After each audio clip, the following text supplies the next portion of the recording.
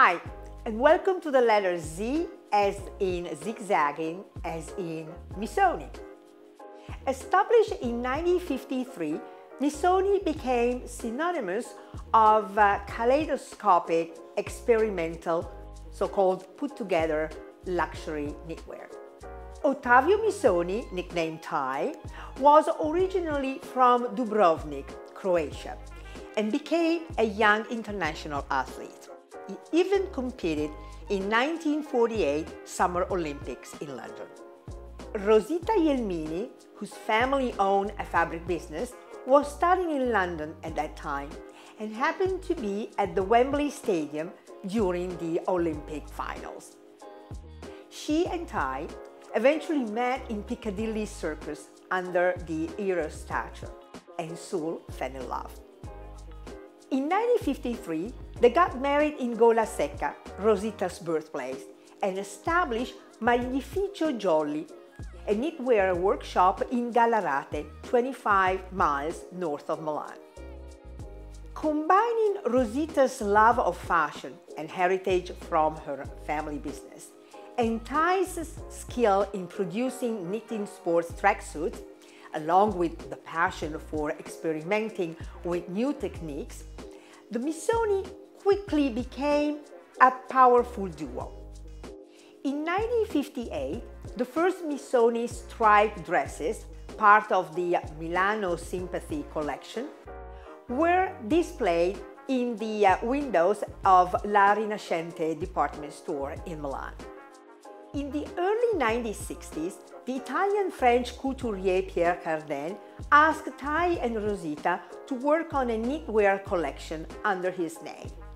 Instead, they chose to work with the visionary Emmanuelle Khanh. The clothes were co-labeled, and this collaboration led to the first Missoni fashion shows.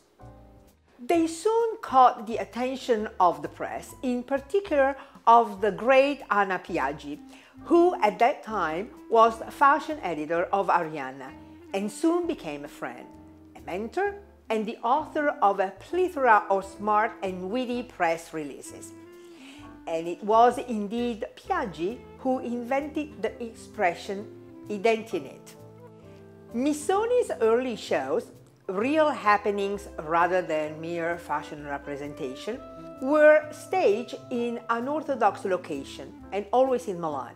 And remember that back in those days, Florence and Rome were the Italian fashion epicenters. The first défilé took place in 1966 at Teatro Gerolamo, a lovely performance space built in 1868 as a miniature version of the nearby La Scala Theatre, and mostly known for puppet and cabaret shows. The second show in 1967 was staged at the Piscina Solari, a public swimming pool which, for the occasion, was filled with inflatable furniture by Emmanuelle's husband, Nguyen Manh Khanh, a Vietnamese designer. Also in 1967, they made their debut at Palazzo Pitti in Florence. Two years later, they inaugurated their factory at Sumirago, 20 miles north of Milan. In 1968, Diana Vreeland, the unforgettable and powerful editor of American Vogue, met the Missonis and labeled their freestyle, quote, the put together, end of quote, look. Vreeland also helped the Missonis in getting into the most famous department stores in the 70s in the United States. And right in 1970s, Bloomingdale's in New York opened an in-store Missoni boutique. Geniuses of color combinations and mix and matching patterns, the Missoni look represented something totally new and revolutionary in the fashion system. They launched a different way to dress and they succeeded. In 1973, the first of a long list of major recognition arrived, and we are talking about the Neiman Marcus Award, a sort of Academy Award of Fashion. A year after, Tai and Rosita left Florence's catwalks for Milan's, and Women's Wear Daily immediately stated, quote, Missoni is the reason to come to Milan, but Rosita and Tai are no longer just Italian fashion. They are world leaders, end of quote. The Missoni's inspirations pay homage to radical art of the 20th century, spanning from Giacomo Balla to Sonia Delaunay, from Kandinsky to Arp, and again to optical art, African dresses, and even the Murrine, the colored glass from Venice, which Rosita loves collecting. The avant-garde experimental techniques in which the Missonis always excel produce amazing patterns like the stripe, the flame, the zigzags, the patchwork, and many more, using yarns such as silk, cotton, wool, rayon, mohair, and lurex. The same vibrant patterns inform the Missoni's Casa collection, which Rosita passionately started in 2000. Her philosophy is, quote, the home is alive, it's constantly evolving and never finished, end of quote. In 1978, at Rotonda della Besana in Milan, the Missonis toasted to their 25th anniversary with a spectacular retrospective. The exhibition was such a huge success that it even traveled to New York and it opened in October of the same year at the Whitney Museum of Art and it was the first tribute this institution gave to a fashion brand. Quote, we have always tried to innovate the concept of knitwear, but we have always remained artisans, end of quote, stated Rosita. Visionary in their soul, they collaborated with the most disruptive artists, such as the illustrator Antonio Lopez, who drew their ad campaigns in the 80s. An artist himself, Tai showed his paintings and patchworks in various international exhibitions. He and Rosita also designed costumes for operas and ballets, like the ones for the 1983 uh, production of Lucia di Lammermoor at La Scala in Milan, and David Parsons' choreography, Step Into My Dream, which opened in 1994 at the Joyce Theatre in New York.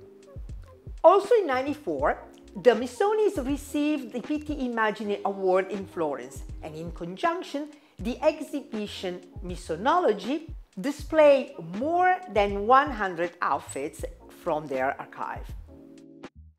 Tai and Rosita passed the baton to their children in the late 90s. And here, picture from the left, we have Vittorio, the company CEO, tragically disappeared in a plane crash in 2013, Angela, the women's collection designer, and Luca, responsible for the men's collection and the artistic director of Missoni's archive. In October 97, Angela made her debut as the women's creative director. Under her tenure, the brand kept growing, enriched with colorful patterns and creative bohemian vibes. The year 2008 sees the birth of Fondazione Ottavio and Rosita Missoni with the aim of preserving the incredible and experimental artistic heritage of the brand through various cultural initiatives. In 2011, Tai's autobiography Una vita sul filo di lana, A Life on a Woolen Thread, was published by Rizzoli. Two years later, after having toasted to the brand's 60th anniversary, Tai passed away. During his life, along with Rosita, he received gazillion of international awards, and one among the many, an honorary degree from London Centre St. Martin's. He was also nominated one of the best dressed men in the world. In 2015, Missoni Art Color celebrated the work of Tai and Rosita in Gallarate, the town where they first set up their knitwear business back in 1953. A year later, the show eventually traveled to the Fashion and Textile Museum in London. In 2018, Missoni sold a minority stake to a private equity firm. In 2021, after 24 years as creative director, Angela Missoni became president of the company. In March 2022, Filippo Grazioli, formerly at Burberry and Givenchy, was appointed new creative director of the brand. His first women's spring 2023 collection was a cleaner, lighter, more graphic version of the Missoni's leitmotifs, colors and pattern, and showed a more sexy and body-conscious approach.